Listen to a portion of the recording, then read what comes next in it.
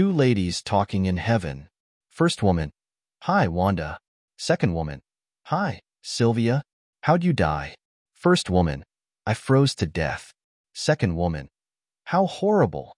First woman, It wasn't so bad. After I quit shaking from the cold, I began to get warm and sleepy and finally died a peaceful death. What about you? Second woman, I died of a massive heart attack. I suspected that my husband was cheating, so I came home early to catch him in the act. But instead, I found him all by himself in the den watching TV. First woman, so what happened? Second woman, I was so sure there was another woman there somewhere that I started running all over the house looking. I ran up into the attic and searched, and down into the basement. Then I went through every closet and checked under all the beds. I kept this up until I had looked everywhere, and finally I became so exhausted that I just keeled over with a heart attack and died.